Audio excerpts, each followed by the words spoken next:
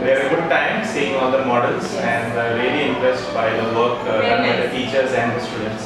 A lot of hard work has been put in. So thanks for inviting the parents also.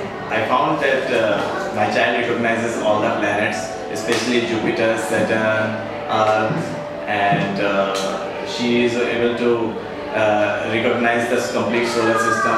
And uh, the Jupiter is the biggest planet, and Saturn has its own ring. Such kind of activity gives a clear impact, uh, a permanent impact on child's mind. The teachers here organize lots and lots of activities which are really creative, innovative. Not only the children enjoy, we parents also look forward to come and uh, attend all these activities. patterns of moon, stars, Earth or the solar system are very well coordinated. I'm sure all the students who are here uh, will have a wonderful experience. And kids really enjoyed making these things and also enjoyed coming to this particular special event. I'm extremely happy with the teachers here, with the effort that they have been taking for improving my children.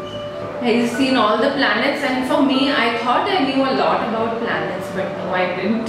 I learned so much when I came here. Space really did feel like space. Yes, Priya?